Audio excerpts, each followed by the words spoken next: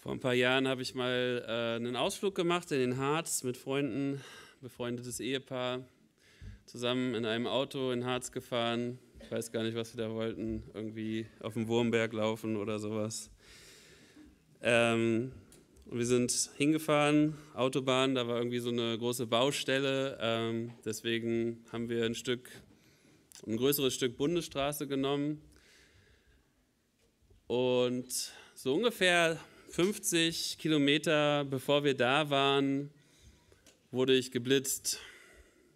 Ähm, ja, so ganz klassisch, 70, Schild 70, bin irgendwie, weiß ich nicht, 85 gefahren oder so oder 90. So, war natürlich schon mal ein bisschen ärgerlich. Weitergefahren. Und gar zehn Minuten später wurde ich das zweite Mal geblitzt. Ja, es war schon irgendwie komisch, schon seltsam. Zweimal geblitzt, auch wieder 70, ich wieder zu schnell. Ja, und dann wurde ich noch ein drittes Mal geblitzt. ich glaube auf der Rückfahrt, aber dreimal am Tag geblitzt. Das war bisher mein Höchststand, ist mein Höchststand. Das ist mir seitdem nicht nochmal passiert. Jetzt, wenn ich in den Harz fahre, bin ich immer sehr vorsichtig und äh, weiß auch ungefähr, wo die Blitzer stehen. Naja. Ähm, so ist das, ne? Mit dem, mit dem Lernen, mit dem Dazulernen und sich an die Regeln halten, an die Verkehrsregeln. Und der erste Vers, den ich hier mit euch lesen möchte, im Buch der Sprüche, Kapitel 29, Vers 19, der hat was damit zu tun, mit dieser, ja, mit dem Hören und dem Tun. Nur mit Worten kann man einen Diener nicht erziehen. Wundert euch nicht, ich äh, lese aus der NGÜ.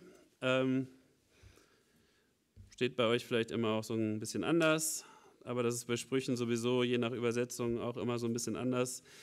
Ich denke, der Sinn ist aber genau derselbe. Nur mit Worten kann man einen Diener nicht erziehen, denn er würde zwar verstehen, aber nicht gehorchen. Also ich habe ja auch die Verkehrsregeln verstanden und ich bin ja auch ein ganz typischer Deutscher. Also ich kann Schilder lesen, ich liebe Schilder, ich brauche Schilder. Ja, ich, ich fühle mich irgendwie komisch, awkward, wenn ich irgendwo in einem schilderlosen Raum bin, also nicht Raum, aber ne, also irgendwo unterwegs bin und ich habe fünf Minuten kein Schild gesehen, ist schon komisch. So, ne, ich, ich frage als erstes so, warum ist das denn hier nicht ausgeschildert? Ja, das fragen die Deutschen so als erstes. Ja, hier war kein Schild. Ja, das könnt ihr auch mal ausschildern hier. Ne? So, man, man, man braucht als Deutscher seine Schilder, sonst kann man, ist man nicht lebensfähig. Ja? Das ist echt. Äh, aber ob man die Schilder dann auch beachtet und ernst nimmt, ist nochmal auf einem ganz anderen Blatt geschrieben. Ja, so wie bei dem Blitzer. Es war 70, ich wusste das. Ich habe das auch irgendwie so unterbewusst registriert, aber ich habe mich einfach nicht danach gerichtet. Und genau das ist eigentlich hier das, worum es mal wieder geht. Und darum geht es in Sprüche eigentlich immer wieder. Es geht um diese lernresistenten Menschen. Ja, du sagst ihnen etwas, Sie hören es auch, aber sie reagieren nicht darauf. Sie setzen das nicht um, sie handeln nicht danach. Das sind, in Sprüchen haben die so verschiedene Namen. Das sind einfach unverständige Menschen. Das können äh, Kinder sein, es können erwachsene Männer und Frauen sein, es können äh, Knechte sein, das ist eigentlich ziemlich egal. Aber dieser Charakter, dieser, diese, ähm, dieser Typus ja, des Unverständigen, den treffen wir immer wieder in Sprüche. Der hört etwas, aber es kommt halt einfach nicht an. Es, es passiert nichts. So. Da rein, da raus. Ganz, ganz klassisch so. Und so jemand ähm, war ich äh, oder bin ich auch des Öfteren. Und dieses Beispiel mit dem dreimal geblitzt ist eigentlich ein super Beispiel, finde ich. Und äh, dieser Unverständigen, das ist eigentlich so ein Kontrast in Sprüche. Sie stehen im Kontrast zu den Verständigen, zu den Weisen. Ja, die, Die Unverständigen, die sind so, da rein, da raus, da passiert nichts. Da ändert sich auch nichts. Da kannst du auch hundertmal denen irgendwas predigen. Die können 100 Gottesdienste besuchen, 200. Das ist völlig egal. Das Leben ist immer noch dasselbe wie vorher, immer. Es tut sich nichts. Es, es entsteht keine Reaktion durch die Predigt. Und ähm, es ist halt nicht nur, nicht nur im Predigen so und in der Gemeinde so, ähm, dass wir manchmal so krass lernresistent sind. Es ist einfach überall überall so. Aber im Gegensatz dazu haben wir auch den Weisen, den Verständigen. Den gibt es auch. Das ist derjenige, der das hört und dann darauf reagiert. Und der Leser, also wir alle, wir lesen ja gerade dieses Buch und der Leser ist eigentlich einer von denen. Er will ja lernen. Er ist lernwillig. Er ist nicht lernresistent, er ist lernwillig. Deswegen liest er dieses Warum sollte jemand 28 Kapitel Sprüche lesen, wenn er keinen Bock hat, dazu zu lernen? Dieses Buch ist dafür gemacht, damit man dazu lernt, dass man klug wird. Kein Mensch hält das durch, wenn er das nicht will. 28 Kapitel voller Sprüche. Darüber kann man eine Menge meditieren, meditieren im Sinne der Bibel, nachdenken. Sich, man kann über jeden dieser Sprüche wirklich nachdenken. Und dieser Spruch ist im Grunde auch einfach nur eine Wiederholung von etwas, was wir schon hundertmal gelesen haben. Aber das ist kein Zufall, das ist gewollt. Nicht aus Versehen schreibt der Autor immer wieder dasselbe in etwas anderen Worten. Das ist eine Methode. Und die soll bewirken, dass sich das ganz tief einschleift. Ganz tief in unseren Geist. In, wir sollen weise werden. Steter Tropfen hüllt den Stein. Wenn ich immer wieder dieselbe Weisheit höre, ich verinnerliche sie langsam. Sie bleibt, es bleibt etwas hängen. Selbst bei dem lernresistentesten, dümmsten Menschen vielleicht. Da kommen wir noch zu. Es, ist, es besteht die Chance, wenn du deinem Kind immer wieder dasselbe sagst, immer wieder dasselbe. Manchmal geht es nicht anders. Wie oft musste meine Mutter mir bestimmte Dinge jeden Tag sagen? Putz deine Zähne zum Beispiel. Ja, man, man, man versteht das nicht. Aber du musst Kindern bis 15, 16 Jahren, vor allem Jungs, jeden Tag sagen, putz die Zähne, wasch dich. So, ja, jedes Mädchen fängt irgendwann an, oft früh, sich waschen zu wollen. Ja, irgendwie, ja, vielleicht auch nicht. Aber das ist schon, das ist, ähm, das ist meistens schon so. Aber Jungs, Fehlanzeige. Äh, du denkst, es kann doch nicht sein, du bist 18 Jahre Junge und ich muss dir noch sagen, dass du duschen musst, weil du stinkst. Junge, das musst du doch langsam verstanden haben. Dusch dich jeden Tag. Wenigstens jeden zweiten, aber jeder Tag wäre nicht schlecht. Kommt ein bisschen drauf an, wie man so riecht. Ne? Oder wie viel man schwitzt. Aber das dauert manchmal unglaublich lange. Über Jahre müssen Eltern das durchhalten. Und ich ermutige euch darin, haltet durch, denn ähm, ja, es wird irgendwann wirken. Irgendwann fällt der Groschen, irgendwann äh, kommt das auch an. Aber wie gesagt, eigentlich die Leute, die das hier lesen, das sind eigentlich genau die, die nicht so drauf sind wie dieser Knecht hier. Das ist hier ein fauler und ähm, unverständiger Knecht, der uns hier vorgestellt wird. Ich glaube auch nicht, dass es in dem Spruch um jeden Knecht geht. Es geht einfach um die, die nicht lernen wollen. Und Jesus hat das auch mal aufgegriffen. Jesus hat ja auch öfter mal ähm, darüber gesprochen, aber vor allem in der Bergpredigt. Zum Schluss sagt er, darum gleicht jeder, der meine Worte hört und danach handelt, einem klugen Mann, der sein Haus auf felsigen Grund baut. Also hören und handeln, hören und handeln. Hören und Handeln. Das ist extrem wichtig. Das ist klug. Das ist schlau. Das ist sehr schlau. Also, lass es nicht einfach wieder verdunsten, das, was Gott dir sagt. Und wenn der Sturm tobt und mit voller Wucht über das Haus hereinbricht, stürzt es nicht ein. Es ist auf einen felsigen Grund gebaut. Jeder aber, der meine Worte hört und nicht danach handelt, gleicht einem törichten Mann, der sein Haus auf sandigen Boden baut. Ihr wisst, wie es zu Ende geht. Genau das ist eigentlich, genau das ist hier gemeint. Nur mit Worten kann man einen Diener nicht erziehen. Und das ist irgendwie krass, aber es ist die Wahrheit. Warum halte ich mich an die Verkehrsregeln in Hannover? Warum, wenn ich zur Arbeit fahre, gucke ich, dass mein Tacho nicht so weit über 50 geht? Höchstens auf die 60.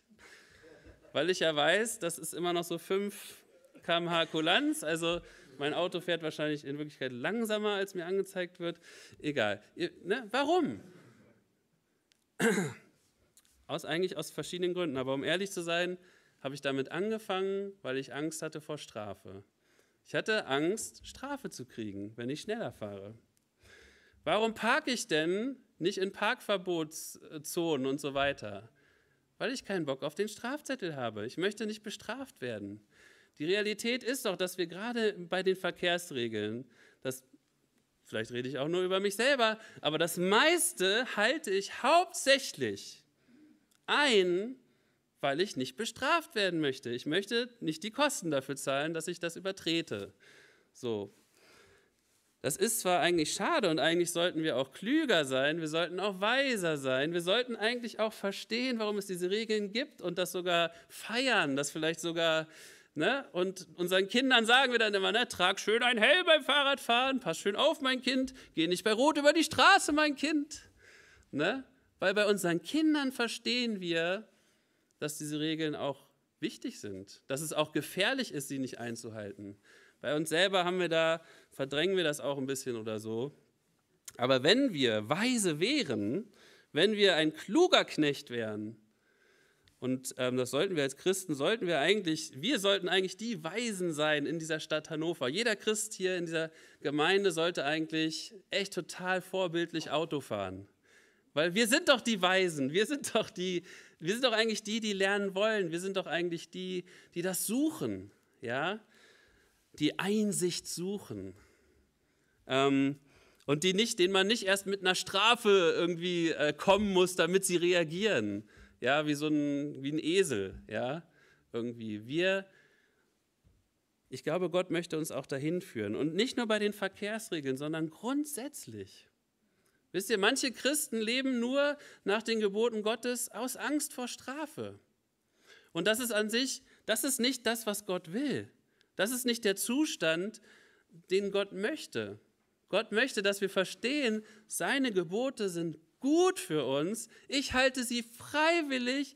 Ich, ich habe die Einsicht, ich verstehe das, ich bin, ich bin weise und ich liebe meinen Herrn und deswegen halte ich mich an seine Gebote. Und deswegen höre ich das nicht nur, deswegen versuche ich das auch umzusetzen, so gut es geht. Möge Gott uns dabei helfen. Aber das muss doch eigentlich die Motivation in unserem Leben sein, nicht die Angst vor Strafe. Denn Gott möchte, dass, dass hier nicht ein Haufen Dummköpfe in der Gemeinde sitzt, wo er die ganze Zeit irgendwelche Strafen androhen muss, sondern dass hier ein Haufen weiser Menschen sitzt, die verstehen, warum seine Gebote gut sind, die aus Liebe seine Gebote halten. Jesus hat auch selber zu seinen äh, Jüngern gesagt, hey, ich nenne euch nicht mehr Knechte, ich nenne euch Freunde. Ihr seid meine Freunde.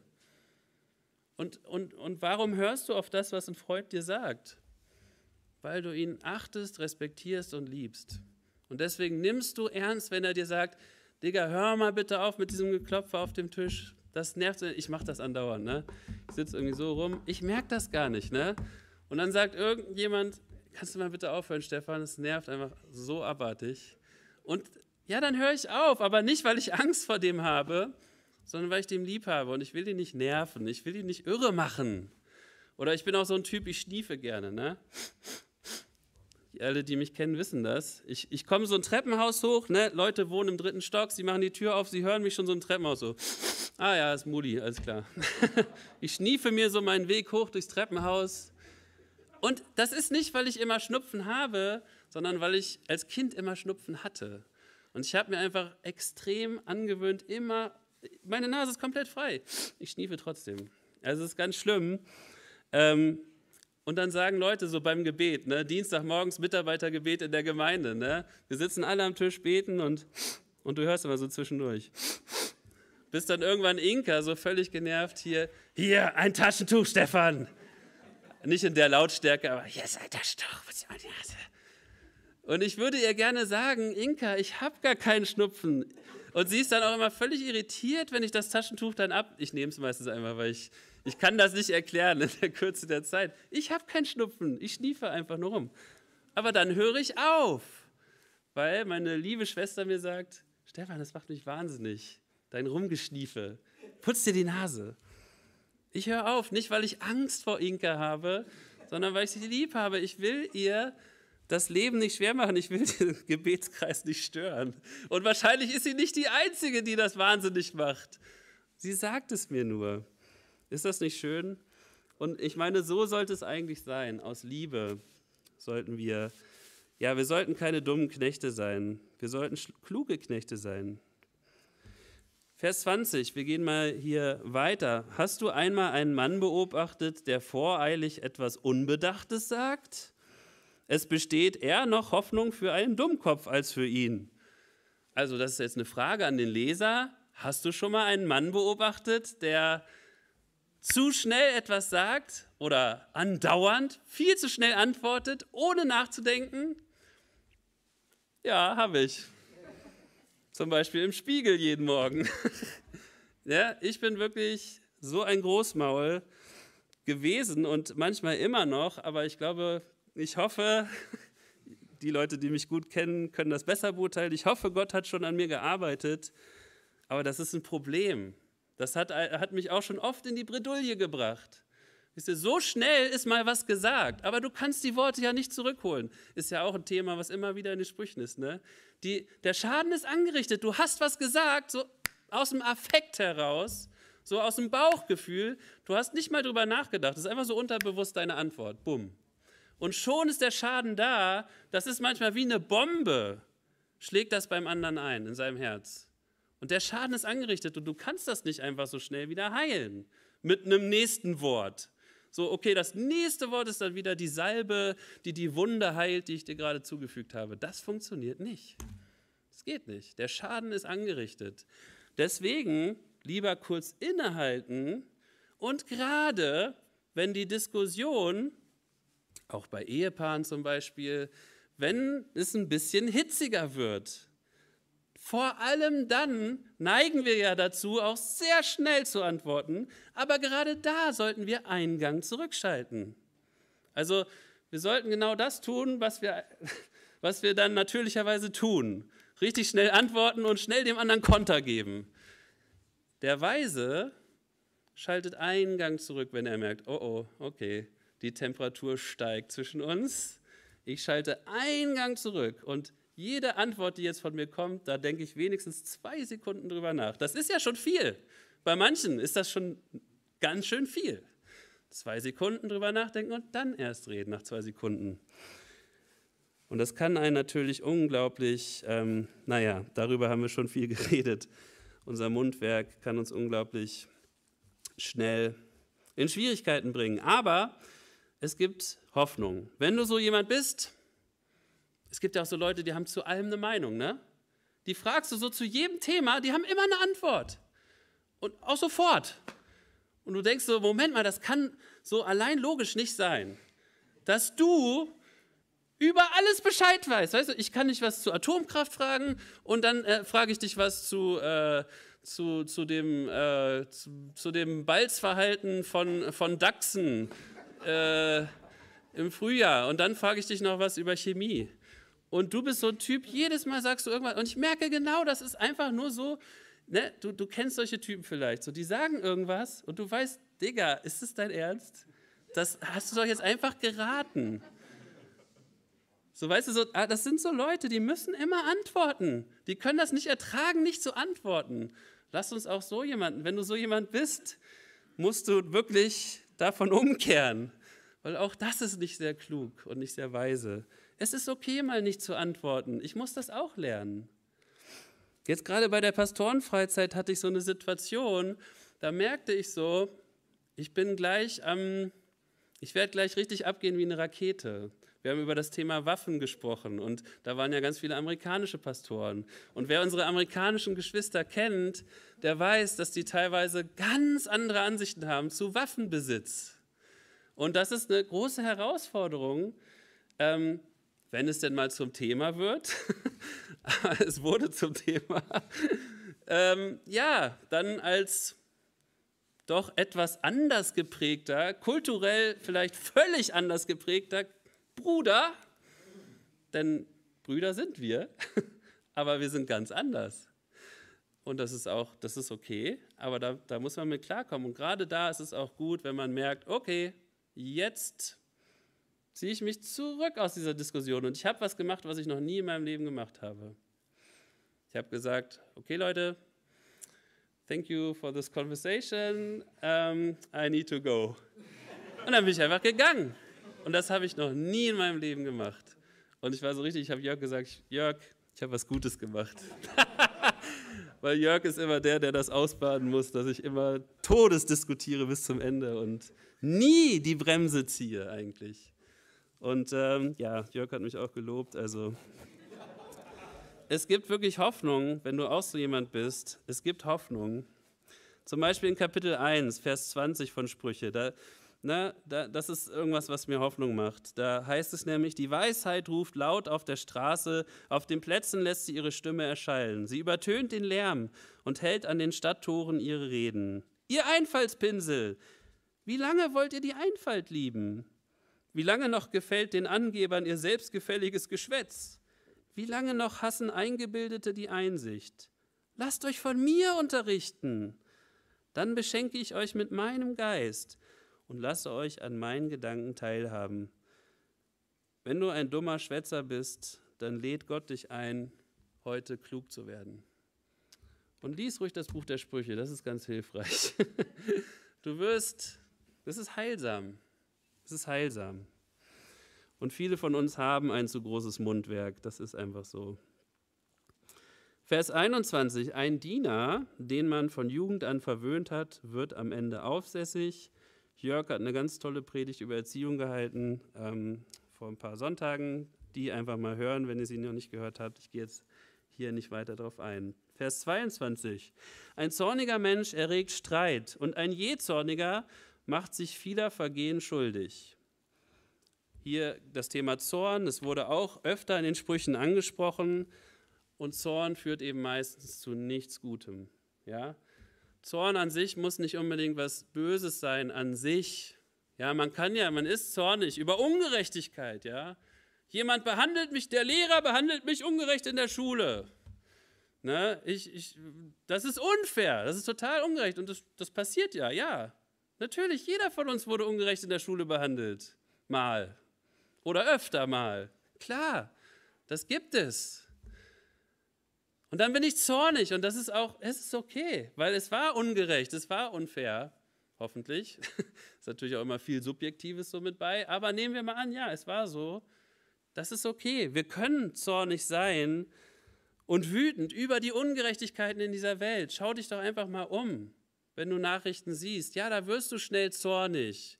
Du siehst, wie es Menschen teilweise geht, irgendwo anders. Und du denkst, was soll man dagegen machen? Das macht einen wütend. Die Hilflosigkeit, dass man denkt, boah, da, das ist irgendwie so, wie, wie soll man was daran ändern, an diesen Zuständen? Das kann einen unglaublich wütend machen und zornig machen. Und ich glaube, das ist auch okay. Aber das Problem ist, wir Menschen, wir können nicht gut mit Zorn umgehen ne, selbst mit gutem Zorn, also selbst wenn ich zornig bin über die Ungerechtigkeit, der Zorn verleitet mich dazu, zum Beispiel überzureagieren. Verbal, ich reagiere verbal, ich schlage über die Stränge. Ich, ich, das, was ich sage, ist der Situation nicht mehr angemessen. Es geht weit darüber hinaus. Warum? Weil ich so unglaublich zornig bin. Ich bin so aufgewühlt. Ich habe mich gar nicht mehr richtig im Griff. Aber bis hin zu, zu Gewalt, dass ich richtig aggressiv, gewalttätig werde, ja, was der Situation in den meisten Fällen oder eigentlich immer überhaupt nicht angemessen ist. Für uns schon gar nicht als Christen. Mit Zorn können wir als Menschen eigentlich in den meisten Fällen nicht richtig umgehen. Wie können wir damit richtig umgehen? Wie der Psalmist. Wir müssen unseren Zorn Gott klagen. Wir müssen unseren Zorn zu Gott bringen, immer und immer wieder, so wie es David gemacht hat. Da ist unser Zorn an der richtigen Stelle. Ne? Ich kann euch nicht verbieten, zornig zu sein. aber wir müssen den Zorn an die richtige Stelle bringen und ihn ein Stück weit müssen wir ihn auch loslassen. Weil Zorn kann uns auch zerfressen und kaputt machen innerlich. Und ein zorniger Mann, das ist nicht gut, wirklich. Wenn du sagst, Stefan, ich bin ein zorniger Mensch, ich habe immer diesen Zorn in mir, dann weißt du auch genauso gut wie ich, dass das nichts Gutes ist. Dass dir das nicht gut tut, dass dich das auslaugt, dass dir das deine Kraft zieht. Und du musst diesen Zorn, ich weiß es nicht, aber du musst darum ringen. Du musst den Zorn irgendwie loswerden. Am besten bei Gott. Denn Gott kann mit deinem Zorn umgehen. Gott kann auch deinen Zorn aushalten. Gott ist stark genug für deinen Zorn. Er ist stark genug für unser aller Zorn. Und gerade liegt auch eine Menge Zorn in der Luft. Jeder, der so ein bisschen, ähm, ja, das kriegt ihr alle wahrscheinlich mit. Es ist eine zornige Zeit, ja. Die Geimpften sind zornig auf die Ungeimpften, die Ungeimpften sind zornig auf die Geimpften. Wie könnt ihr uns so behandeln? Ja, wie könnt ihr uns denn so behandeln? Ihr seid ja so verantwortungslos, ihr seid ja so naiv. Zorn. Alle sind so schrecklich erregt in Deutschland. Oh, und es ist, es ist ja nicht nur Corona, es ist auch noch das Klima. Puh. Schnell, wo ist meine Tastatur? Ich muss auf Twitter. Ah, verrecke. Verrecke. Stirb, stirb, stirb. Ja, Twitter ist ein guter Ort für unseren Zorn. Ja, ja, schmeißt alle euren Zorn ins Internet, in die sozialen, überschwemmt das Internet mit eurem Zorn. Das ist richtig klug, richtig gut. Nein, es ist nicht. Das ist schlecht. Das ist total furchtbar. Und dieser Zorn, ich kann ja jeden Abend den Fernseher anmachen und sehen, wie Leute, die Gott nicht kennen, sich im Zorn die Rübe einhauen über alle möglichen Themen. Ja, aber ich darf mich von diesem Zorn nicht anstecken lassen. Lasst euch nicht von diesem Zorn anstecken, Leute, ehrlich jetzt. Meine ich ganz, ganz ernst. Lasst euch davon nicht anstecken. Lasst euch da nicht mit hineinnehmen in den Zorn. Wo auch immer ihr euch verortet. Es darf nicht passieren. Dieser Zorn muss ein Stück weit an uns abprallen. Wirklich. Weil der Geist Gottes, der muss uns erfüllen. Das ist der Geist, nicht der Geist des Zorns. Der Geist Gottes ist kein zorniger Geist. Es ist der Geist der Liebe. Es ist der Geist der Demut. Es ist der Geist, der den anderen höher achtet als mich selber. Es ist der Geist der Langmut nicht der Geist des Zorns. Und wenn du ein Geist, wenn dein Geist beständig zornig in dir ist, und das mag ja auch wirklich so, es mag ja auch äh, angebracht sein, aber das darf nicht sein. Gott möchte das nicht. Du sollst nicht als Zornbolzen durch diese Welt laufen, durch diese Stadt laufen und irgendwie alle Leute anmaulen und äh, aus dir kommt nur noch Gift morgens beim Frühstück, deine Frau laberst du schon zu. Schon wieder das und das gelesen, schon wieder heute Nacht im Internet, schon wieder das, schon wieder das alles. Ja, du fängst schon morgens an zu kotzen beim Frühstück. Gift, Zorn. Glaubst du, es ist gut für deine Ehe? Ist es gut für die Gemeinde? Nein, wir müssen diesen Zorn wirklich bei Gott loswerden. Dann, dann geh ins Gebet, dann klag es Gott die ganze Nacht, echt. Aber laber nicht jeden damit zu mit deinem Zorn. Oh, bin ich zornig. Oh. Das ist nicht gut, Bruder, Schwester. 23. Hochmut bringt einen Menschen zu Fall, aber ein bescheidener gewinnt Ansehen. Hochmut, Demut ist immer ganz, ganz wichtig und haben wir auch schon oft drüber geredet. Vers 24. Wer mit einem Dieb die Beute teilt, der gefährdet sein Leben.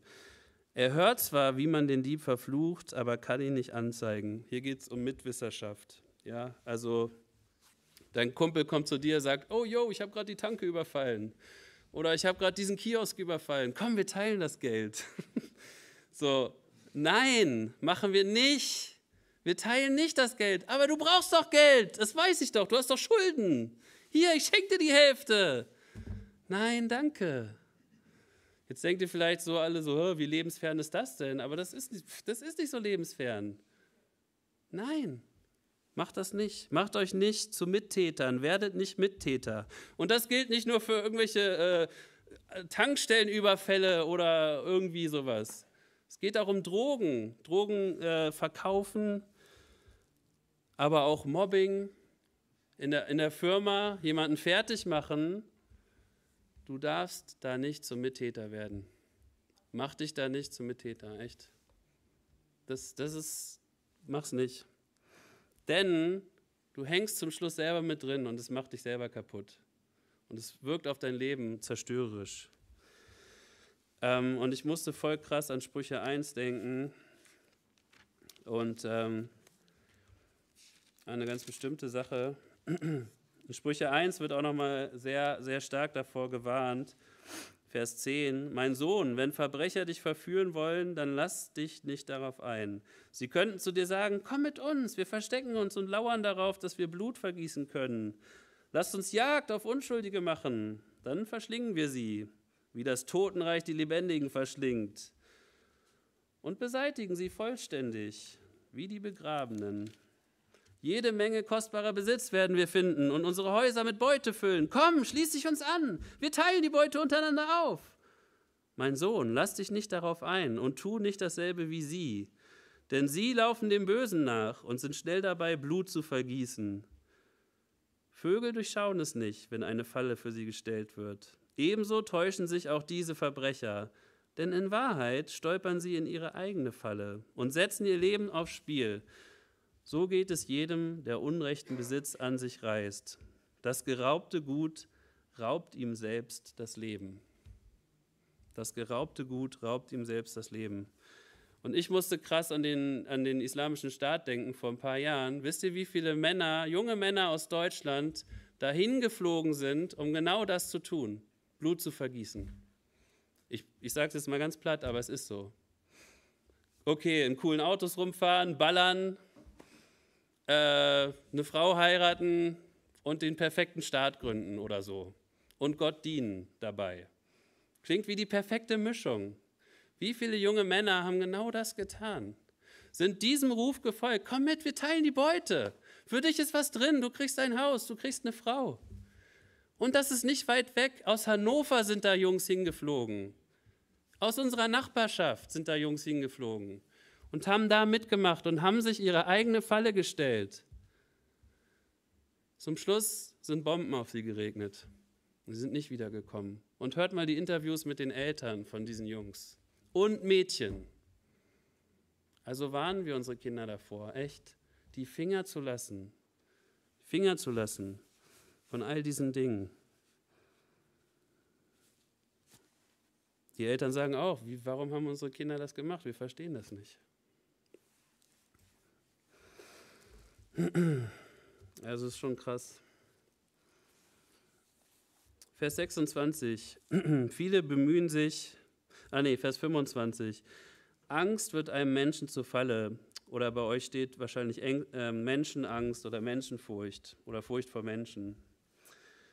Angst wird einem Menschen zur Falle. Wer jedoch auf den Herrn vertraut, ist der Angst enthoben. Ich finde das hier schön formuliert in der NGÜ, dieses Enthoben ähm, ja, wenn du Gott vertraust, das ist wie dein Schild. Ich muss an den Schild des Glaubens denken in Epheser, im Epheserbrief, bei der Waffenrüstung. So, dein, dein Glaube, dein Vertrauen in Gott, das ist das Schild, was die feurigen Pfeile des äh, Widersachers abwehren kann. Und das ist, und dieser Glaube und dieses Vertrauen auf Gott, das ist etwas, was Angst vertreiben kann. Und ich war auch ein super ängstlicher Typ und ich bin es manchmal immer noch. Aber ich merke über die Jahre, wirklich die Jahre, die ich mit Jesus jetzt schon gehe, und das sind schon locker 20 und ein bisschen mehr, die Jahre, die ich mit Jesus gehe, meine Angst ist weniger geworden. Weil ich Jesus immer besser kenne. Ich vertraue ihm. Weil ich schaue zurück auf die ganzen Jahre und ich sehe, er hat mich nicht hängen lassen. Es lief nicht alles immer tippitoppi, aber das war nicht unbedingt seine Schuld. Und er war treu. Bis heute. Und das ist etwas, was Angst vertreibt. Und Gott möchte nicht, dass wir in Angst leben. Gott möchte nicht, dass wir in Angst leben. Gott möchte, dass wir im Vertrauen leben. Vers 26. Viele bemühen sich um die Gunst eines Machthabers, aber der Herr ist es, der jedem zu seinem Recht verhilft.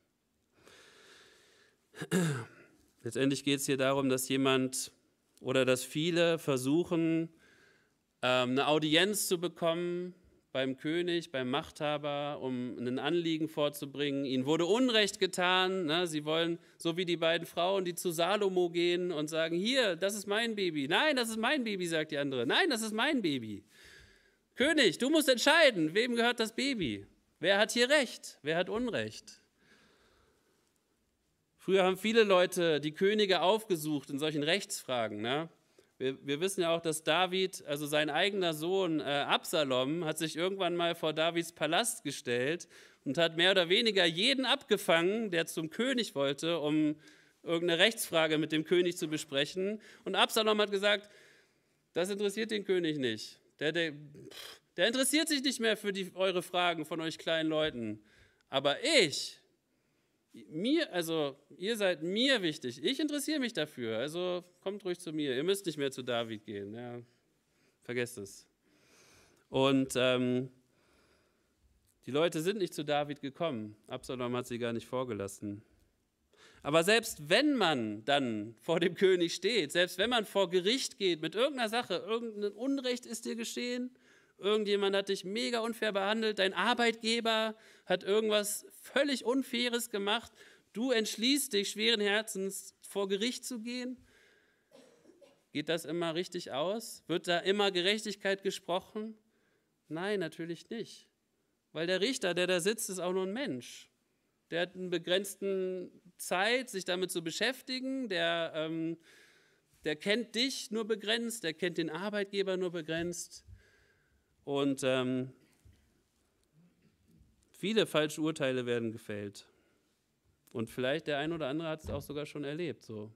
Und deswegen müssen wir Gottes Angesicht suchen. Deswegen müssen wir Gott suchen, auch wenn es um unser Recht geht. Weil andere Menschen werden uns immer wieder Unrecht tun, das ist so. Aber lass uns den suchen, der uns wirklich durch und durch kennt. Und der der Einzige, eigentlich ist er der Einzige, der uns gerecht behandeln kann weil er wirklich alles kennt. Er kennt die Umstände, er kennt uns, er kennt alles. Und deswegen wird er auch irgendwann Gerechtigkeit wiederherstellen. Jesus hat ja auch dazu ermutigt, er hat gesagt, ne, dieses Beispiel mit der Witwe und dem Richter, er hat gesagt, bestürmt Gott im Gebet, betet immer wieder, sucht bei Gott euer Recht, dass Gott euch Recht gibt. Und Jesus hat gesagt, selig sind die, die nach Gerechtigkeit hungern und dürsten. Das ist okay, wenn du einen Durst nach Gerechtigkeit hast. Auch wieder, du schaust in die Welt und du denkst, das kann doch nicht sein. Die Welt ist so unfair. Warum müssen die da so leiden? Warum geht es mir hier so gut? Das ist so unfair. Ich habe, ne, daran kann man total verzweifeln. Und man dürstet, man sehnt sich nach Gerechtigkeit. Und Jesus sagt, sie werden gesättigt werden. Irgendwann wird dieser Durst nach Gerechtigkeit gesättigt werden und gestillt werden, weil Gott dann Gerechtigkeit herstellen wird und da können wir ihm wirklich vertrauen. Wer Gott gehorcht, verabscheut die Übeltäter, Vers 27. Wer Gott missachtet, verabscheut alle, die ein rechtschaffenes Leben führen. Vielleicht denkt hier der ähm, Autor an, an Genesis, wo Gott sagt, zu der Frau sagt, ich werde Feindschaft setzen zwischen deinen Samen und den Samen der Schlange. Es ist klar, dass, Leute, dass es Leute gibt, und das wissen wir auch, die schauen auf uns und denken sich, Bro, was ist das denn? was sind das denn für Idioten? Jetzt nochmal nett gesagt. Was sind das denn für Idioten? Die folgen ihrem komischen, unsichtbaren, nicht existenten Gott und beten ihn an und all sowas und richten ihr ganzes Leben nach dem irgendwie so, nehmen das so voll ernst. Und ähm, das kann doch nicht wahr sein. Manche Leute sind so richtig aggressiv auch darauf. Also sie kommen darauf nicht klar. Ich, ich komme nicht darauf klar, wie du dein Leben lebst als Christ. Das kann nicht wahr sein. Und wiederum sehen wir manchmal auf, auf diese Leute und kommen nicht klar auf diese Leute und denken sich, wie, ich komme nicht darauf klar, wie die ohne Gott leben können und wie die so einen so Hass schieben können und so weiter. Aber, also das, was er sagt, stimmt, ja, so ist es. Aber Jesus hat uns geschickt zu diesen Menschen. Das dürfen wir nicht vergessen. So sehr wir auch nicht manchmal klarkommen auf Leute, die nicht auf uns klarkommen. So sehr uns das auch manchmal vielleicht abstößt, wie manche Menschen irgendwie leben oder reden oder was auch immer. Auch gerade vielleicht über unseren Glauben. Das sind trotzdem die Menschen, für die wir beten müssen, die wir lieben sollen und zu denen wir gehen sollen und das Evangelium bringen sollen. Denn Jesus ist auch für uns gestorben, als wir noch seine Feinde waren. Da haben wir noch über ihn gelacht. Also ich habe über Christen gelacht mit 17. Ich habe immer so äh, offenen Kanal Hannover geguckt und da, äh, auf dem offenen Kanal, da gab es immer so eine, äh, da hat so eine Gemeinde aus Lehrte immer Gottesdienste übertragen. Und ich saß so in meinem Kinderzimmer vor meinem Fernseher und ich habe gesagt, was für Idioten. Was seid ihr? Was, was, was soll das? Was, was macht ihr da? Das ist, ich habe mich so fremdgeschämt, ja. Es war so peinlich, dann also, oh, Jesus und so. Und ich dachte so, ne, ne. Was ist verkehrt mit den Leuten? Zwei Jahre später stehe ich selber so im Gottesdienst und bete Jesus an. Also Gott ist gut. Und ähm, Deswegen, also auch diese Feinde Gottes, auch die können wir gewinnen und die kann Gott gewinnen und denen sollen wir uns auch zuwenden. Lass uns beten. Herr, wir danken dir für, für deine Ermutigung, auch die Dinge, über die wir nachdenken können in den Sprüchen, Herr. Ja, lass uns doch bitte klug sein, kluge Knechte sein, ja, wirklich gute Freunde sein, Herr, dass wir dein Wort auch ernst nehmen, darüber nachdenken, das wirklich bewegen und ähm, ja auch wirklich umsetzen in unserem Leben, Herr. Dass es uns wirklich auch prägt, Herr. Wir wollen das, wir wünschen uns das, Herr. Deswegen lesen wir die Sprüche, damit wir uns verändern, damit du uns veränderst, Herr. Damit wir nicht dieselben Idioten bleiben, Herr, die wir sind. Ähm, dieselben Esel, Herr. Und wir wollen lernen aus Liebe, einfach ja, aus Liebe dir zu folgen, Herr und deine, deine Weisungen ernst zu nehmen, Herr. Und ich bitte dich auch speziell nochmal einfach für das Thema Zorn und ich bitte dich, Herr, bewahre uns, umgib uns wirklich, ja, umgib unsere Herzen mit so einer Imprägnierschicht, Herr. Damit all dieser Hass und dieser Zorn, der heute durch die Gegend schwirrt, abprallt an unseren Herzen, Herr. Und wir wirklich lieben können, Herr. Einander lieben können, Jesus. Ja, bitte hilf uns dabei und lass, hilf doch, dass deine Gemeinde auch verschont bleibt, Herr, von diesem Hass und diesem Zorn, Herr dass wir ein Ort der Liebe sind, der Geborgenheit und ähm, ja, wo der eine den anderen höher achtet als sich selbst, Herr. Amen.